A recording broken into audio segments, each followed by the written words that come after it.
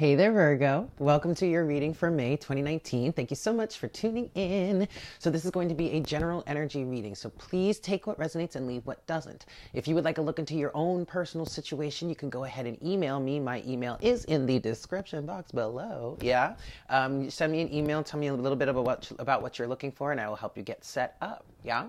So, um, energies are fluid, time is an illusion. So, take this as it resonates. Don't try and fit it somewhere it wouldn't naturally fit, okay? Just let it fall into place. And if nothing really fits for you, then maybe it's just not a message for you.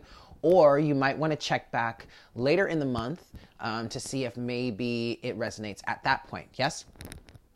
Okie dokie. Um, oh, okay. So I'm, I'm doing it a little bit different, yet a little bit the same for this month.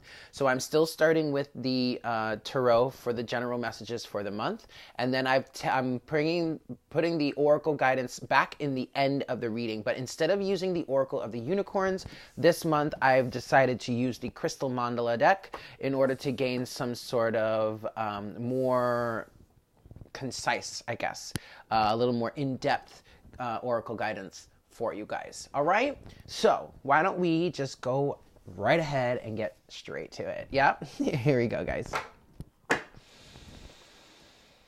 High Spirit. Please make me a clear channel for all Virgos, Sun, Moon, Rising, and Venus. Please bring forward the best messages to serve the highest good of all involved for May 2019.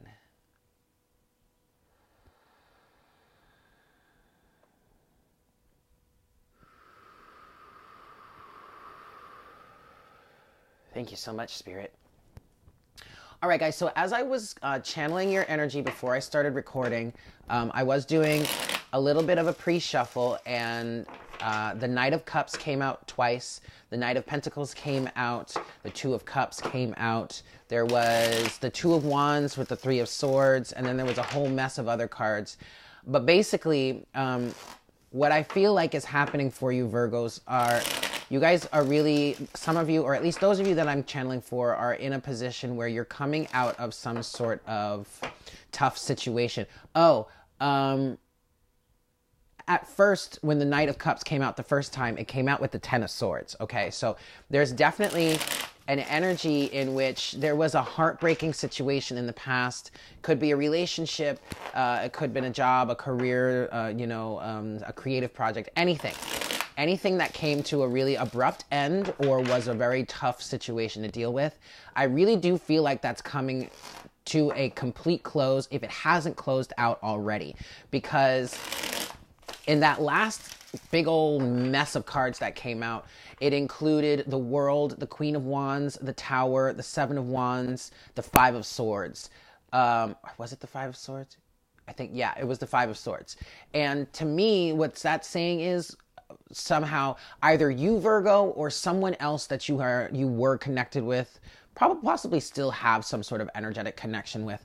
Um, somebody came out of that on top and came out of that way stronger than they have ever been before, um, and really shook some shit up when they came out of that situation uh, between the Queen of Wands and the Tower card I mean, like, and the Seven of Wands, it's like they're untouchable at this point. Like, if you have, I don't say this to discourage anybody. I am just trying to be as clear as possible with the energies that I'm feeling. But if you have someone that you went through a really rough situation with and you guys ended up like not speaking to each other or there was a breakup um, or whatnot, whatever, and you're desiring to like reach back out and like maybe clear the air or something like that, just be careful because this person is not the person that they were in the past, okay? You are not dealing with the same person.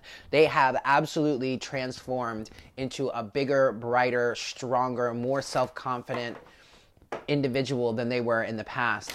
And if you're dealing with a situation in which, you know, you were manipulating this person, you're not going to be able to do it again. They've learned that lesson and they will never let anybody. no, they will never let anybody do that to them again. And that's all coming through. And that's what's so like crazy about like this big shakeup that this created between the Queen of Wands and uh, the Tower. It's like, you think you're gonna fool me again? Sorry, buddy. okay. All right, Virgo. So this is either you or it's someone that you're connecting with. Again, take it as it resonates. Okay, guys? It is a general message. So let's get into this. I'm going to shuffle this three times and then we'll see what your messages are for the month of May. Yeah? Here we go. So, one.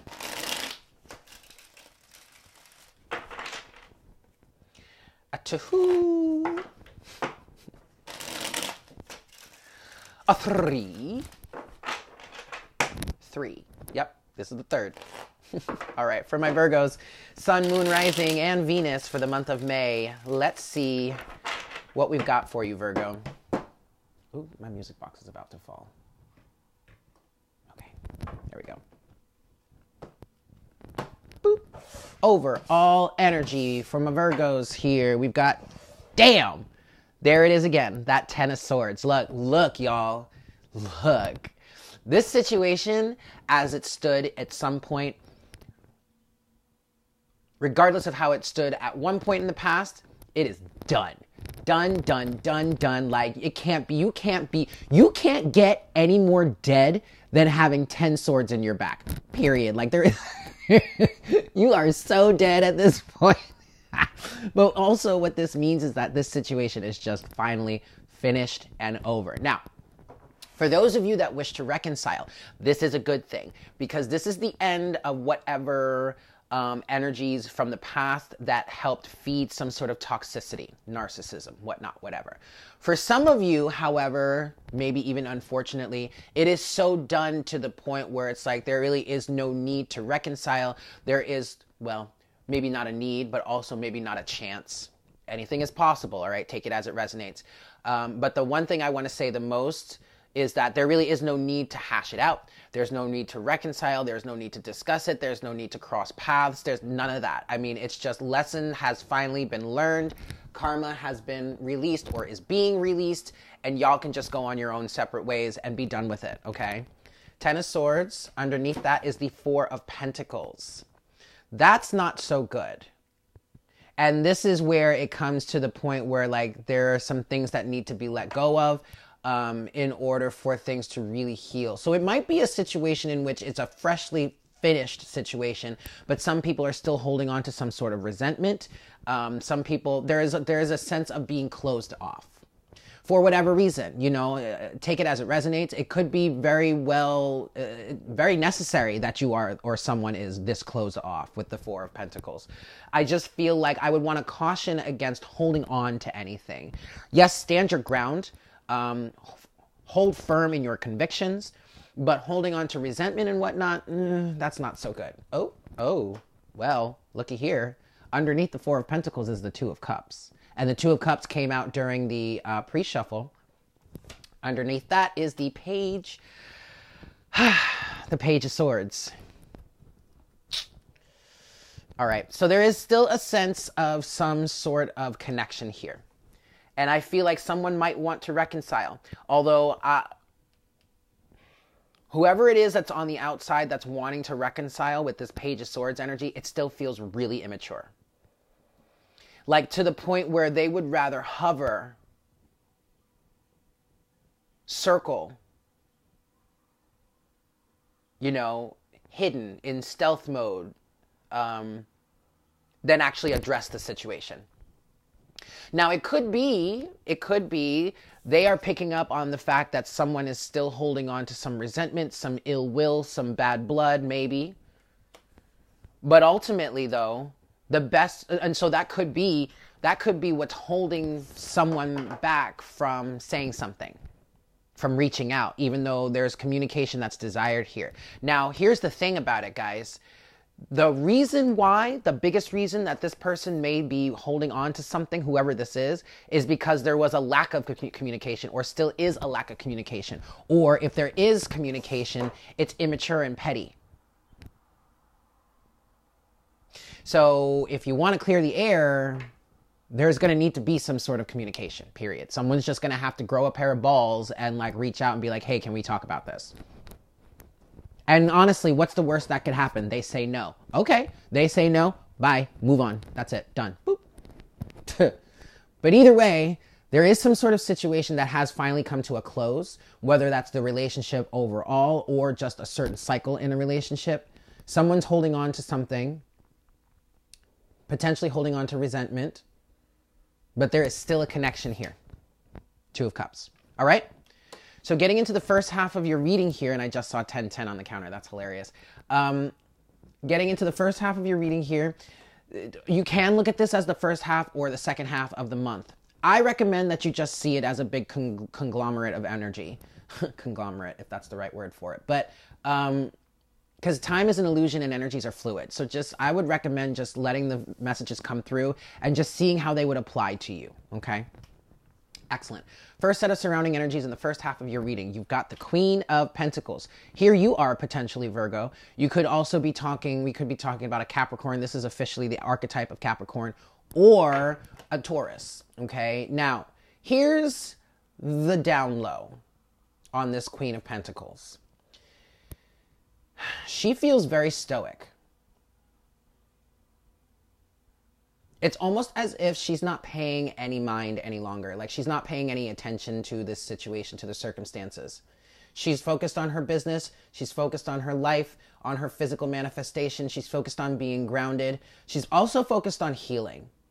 And the Queen of Pentacles is an energy in which she is, she will be your ally through and through no matter how many times you fail, no matter how many times you quote fuck up, whatever, as long as you are committed to healing, uh, learning your lessons, and doing better in the future as you continue on your own path, she is right there by your side. But when she starts to realize that you are really only taking her kindness for weakness, you are taking advantage of her, you are wasting her time, her energy, her efforts, she will turn her back on you. Good luck getting her getting her to turn back around at that point.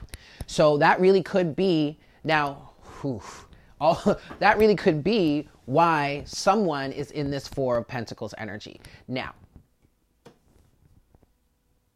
you want to talk about the Queen of Resentment?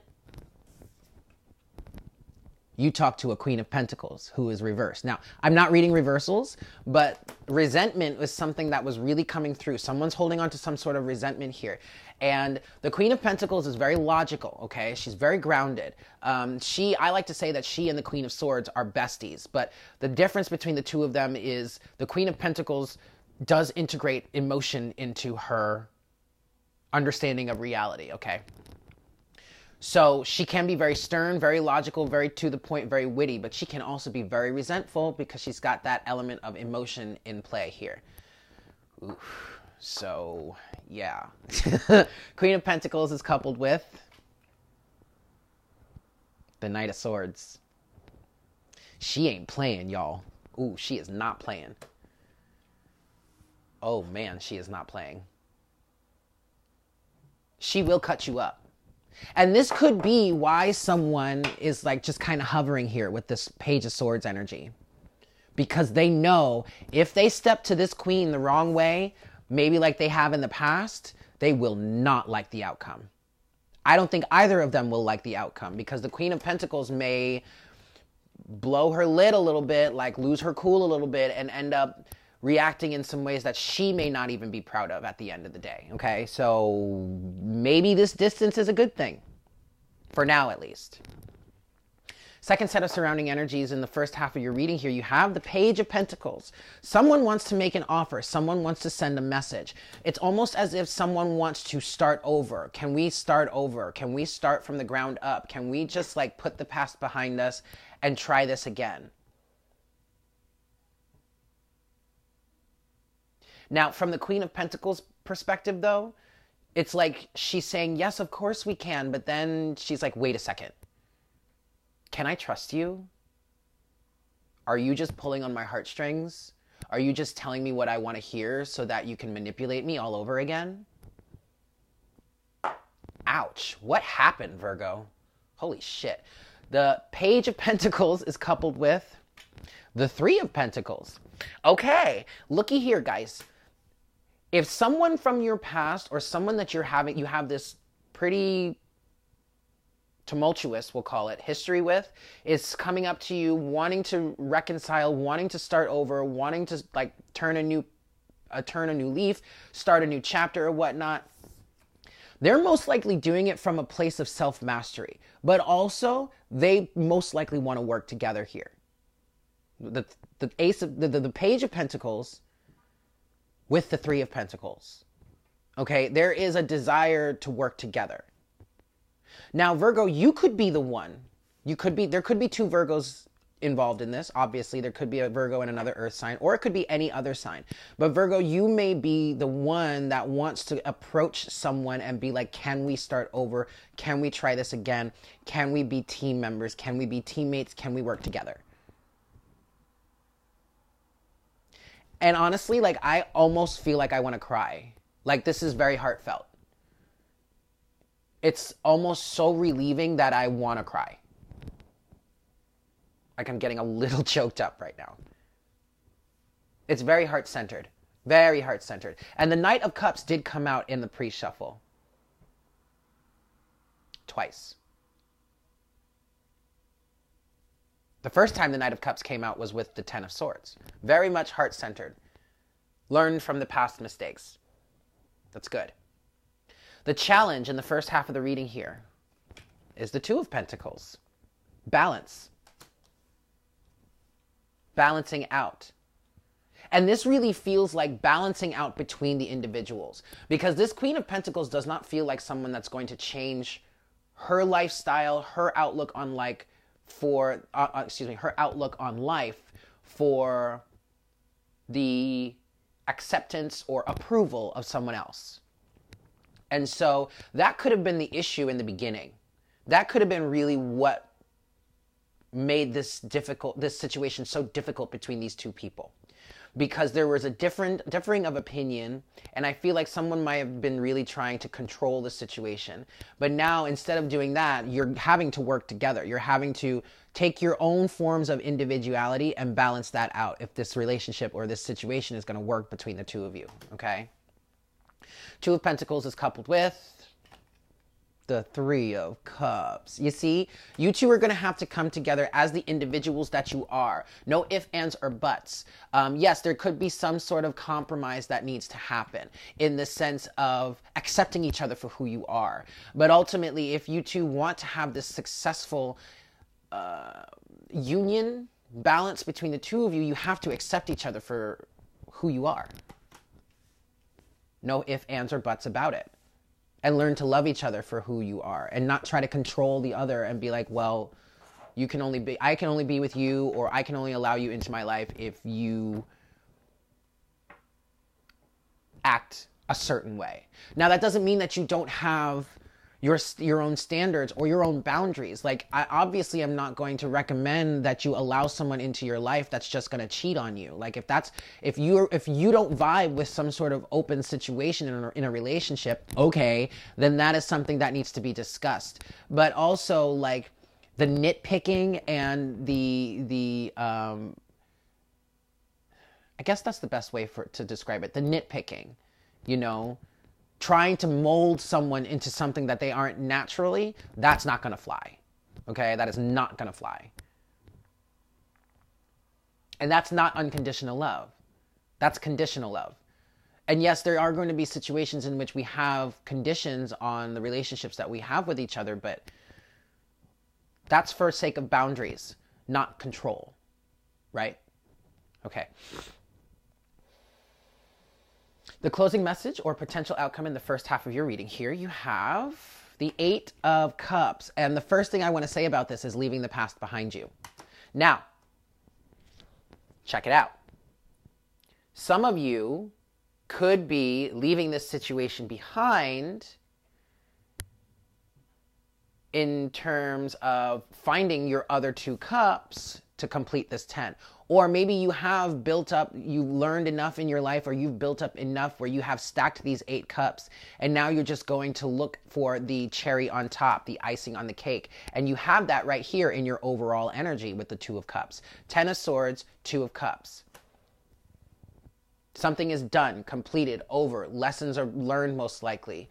Um, someone is standing their ground. Um, or at least closed off in some way but it may not be closed off forever. Maybe it's just closed off for now. Eight of Cups is coupled with Yes, judgment. Okay. So it's for some of you this is definitely an energy of leaving the past behind you and reconciling. Okay? The judgment card is a card of reconciliation, redemption, resurrection, that kind of thing. Um, it's also a card of awakening. Like this, to me personally, judgment represents um, awakening an ascension process. I do feel like for some of you, whether so, two sides of the equation here. We'll talk relationship, like trying to rekindle the relationship and moving forward. Trying to rekindle the relationship. Okay, you both have woken up. You both ha- are seeing things differently than you have in the past. And so now there is an energy of being willing to walk away from whatever happened in the past, leaving the past behind you, only taking the lessons that you learned in order to do better, to move forward and resurrect this relationship between the two of you. For others of you that are just completely leaving this relationship behind and moving on to something new, you've definitely learned a lot in this process. A whole lot. So much so that you can confidently walk away from this um, ready to start something new, understanding love, relationships, yourself, maybe even life from a different perspective. So even if this situation is over, is done, is like never coming back, or you're not trying to resurrect it, it is not a failure because ultimately, either one of you or both of you have learned lessons here that you can really apply to making your life better as you move forward. Okay? Getting into the second half of your reading here, first set of surrounding energies, you have, yes, death. Boop. Uh, change in perspective is what I just heard very clearly. Um, Scorpio energy, you could be dealing with a Scorpio. Maybe some of you are moving towards a Scorpio. Um, but transformation. Again, this could either be a transformation within the relationship, like the standing relationship, and transforming it phoenix from the ashes risen, butterfly out of the cocoon, um, just a brand new start.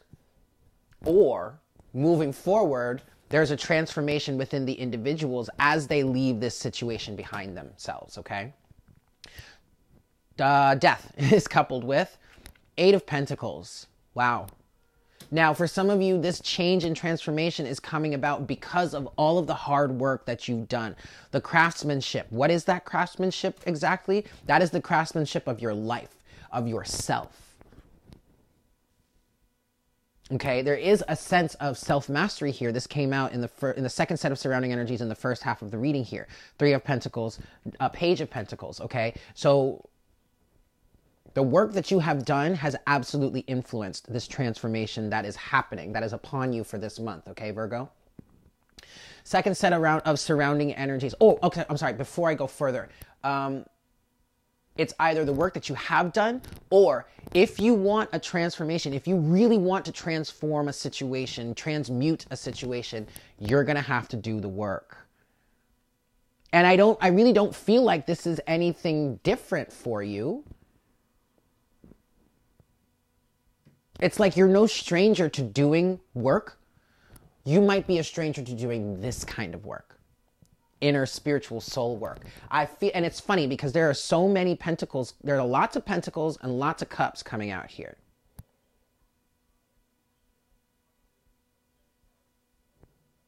Lots of them. And I feel like for somebody in this that we're talking to here, you're very used to working with the physical world, to working with the financial, uh, the, the physical, tangible things. Makes sense. You're an earth sign. But what you're needing to learn now is how to work on the spiritual. Death, Eight of Pentacles. Okay? You know how to transform, transmute, do all that in the physical. Now let's start to work in the spiritual and work internally to transform and transmute your own self. Yes? Cool. Second set of surrounding energies for your month of May, Virgo. The Emperor. Uh, Aries energy. You could be dealing with an Aries. You could have Aries in your chart. Um, you could be connecting with an Aries. But this actually is really just about taking your power back, being the master of your own domain, which is exactly what we were just talking about here with Death and the Eight of Pentacles. Uh, doing the work to really transform your life from the inside out. Okay? There's also a sense of taking responsibility, ownership, or some sort of leadership for you. Okay? The Emperor is coupled with, ooh, the King of Swords. Wow. Uh, Aquarian energy, or maybe a Libra or a Gemini. You also see Aquarius, Libra, or Gemini in the in the Knight of Swords. However, to me, the Knight of Swords is Gemini energy. You also have more Earth energy with the Page of Pentacles, or uh, Taurus, Virgo, Capricorn. But I also see the Pages. I see the Pages and the Knights as the mutable energies. So that would be Virgo, in the sense of the Pentacles. Now, yes, leadership with the Emperor and the King of Swords, autonomy, taking responsibility, seeing things objectively, seeing things as they are. I'm very much getting a humble sense of masculine energy or a humble sense of being a leader or the master of your domain with this combination of the Emperor with the King of Swords. Very humble, but also willing to do the work like willing to get the job done, like willing to take the steps necessary to meet the end goal.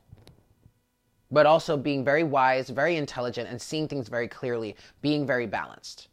Seeing, uh, at least if you're not actively seeing things as they truly are, working on that. Like being in a mindset to see that. Truth, justice, and integrity. I feel like whatever has happened that we're talking about that you're processing, Virgo, for the month of May, there's whatever situation that has come to an end with this Ten of Swords, um, it was probably very humbling. Maybe for both parties, or maybe just for one. Quite humbling. The challenge in the second half of the reading here, you've got, ooh, the Two of Swords, though. There's some sort of indecisiveness. Oh, maybe this is towards reconciling how to go about reconciling. Two of Swords is coupled with the Sun. Illumination with the Sun. Um, there's almost like a fear here. Or maybe the Two of Swords is representing doubt. Yeah, I was hearing doubt. Doubt that you two will ever be able to come together again, doubt that you two will ever be able to reconcile. But the sun here is saying, regardless of what path you'd go on, it's still going to be okay. Lots of twos here. We're only missing one, the two of wands. But we have the two of cups, the two of pentacles, the two of swords. Balance, integrity, honesty, humility.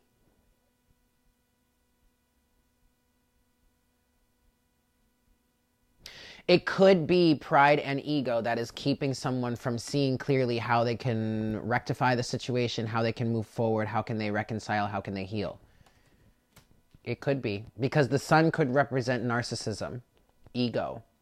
Also, it's Leo energy. You could be dealing with a Leo, Leo, or you could have Leo in your chart. And it really might be a sense of pride and egotism that could be the blockage in reconciling here. It really could be. I really feel like if there is some sort of reconciliation to be had here, both sides of the party are going to have to put their ego to the side, put their pride to the side, and like really face each other and address the situation. There needs to be some sort of communication. Page of Swords, which can represent Gemini energy or another air sign, or, and the King of Swords, clear and concise, honest communication. Closing message or potential outcome in the second half of your reading here, you got the Empress. My, my, my. We've got counterparts on the table between the Emperor and the Empress. Abundance. The Empress is coupled with the Ten of Pentacles. Wow. There's definitely a counterpart here. There is a counterpart here. Not gonna lie. You have the Emperor and the Empress. Could we potentially be talking twin flames? Sure, I guess so. Because honestly, throughout the trend, throughout while I've been, you know, channeling for, reading on, and going through my own situation with the twin flames uh, uh, journey, um, I have seen the Emperor as the divine masculine, the Empress as the divine feminine. That's normally how it is depicted.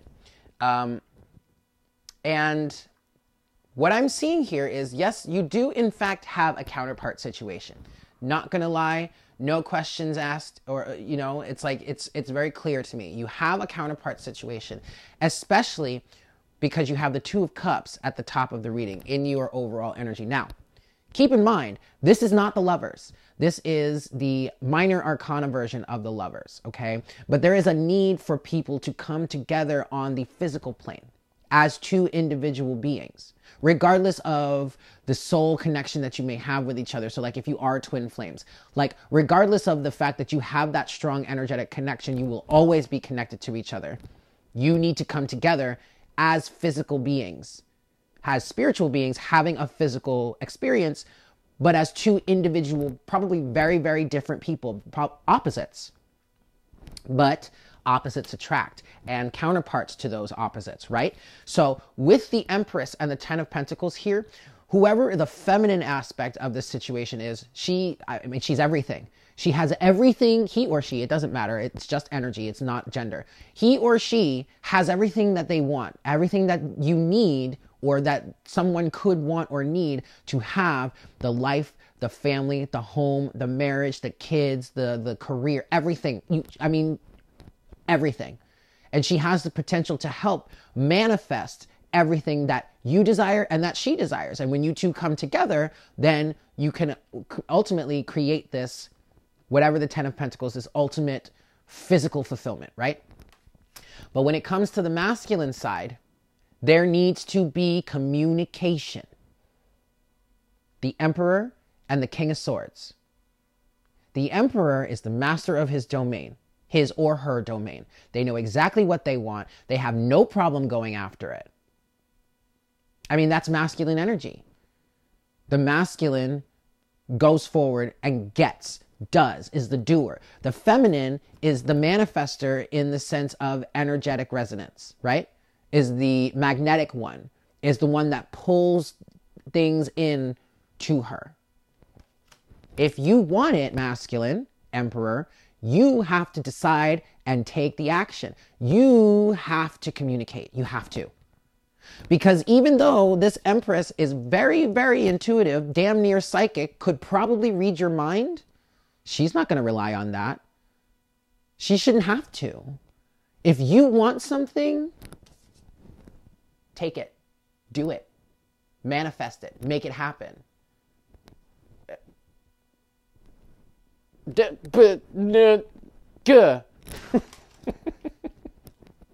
okay? Because otherwise, she's just going to sit here and be like, whatever. Whoever is the best alignment for me will come forward. If it's you, great. If it's not, oh well, somebody else will. And she's really not even worried about it because she has everything right here. Everything that she needs is already within her. So it's not even about completing each other. And very much so, the, the emperor is the same way. He pretty much has everything he needs too. So it's not about completing each other, it's about complementing each other. And if you if you really want something, then you have to go for it.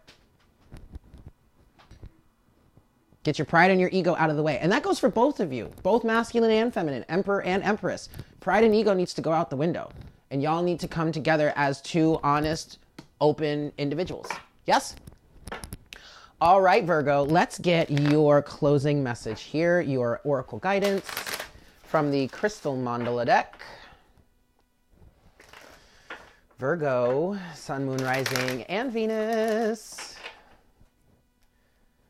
Sun, Moon, Rising, and Venus, my Virgos, for the month of May 2019. Here we go, Virgo closing message. Please, Spirit, for my Virgos for May 2019. There it is. Card number 29. Well, well, well, isn't that a number 11? Ascended Master Kuan Yin and Pearl. Divine Rebel. Mm, look at you, Virgo. Here we go. Divine Rebel. There we go. We bring you the blessing of the Divine Rebel. Divine Rebels shake things up, create a divine disturbance and refuse to play by the rules. They do this because they love divine love. They know there is nothing as powerful as the unconditional love of the divine. It will have its way in the world, in the hearts of all living beings. It will not be tamed, controlled, restricted, or denied. If there is a rule that gets in the way of that love, then the divine rebel will find another way so that love can have its way. The divine rebel in you is not meant to do things the way others say you should. Mm-hmm. Some people may become frustrated with you because they won't know why you have to stand up and speak your truth. That's okay. Divine rebels are not always understood, but they are respected by those who are ready to make love more important than fear and who are willing to contribute constructively towards healing of the world. So there you have it, Virgo. Ultimately, though, I do feel like this is going to be a good month for you for clearing. Yeah? Much love to you guys. Thank you so much for tuning in. I hope that was helpful. Again, if you would like a look into your own personal situation, please don't hesitate to email me. My email is in the description box below. Yeah? Have a great month, and I look forward to connecting with you again for the month of June. Yes? Take care. Mwah! Bye.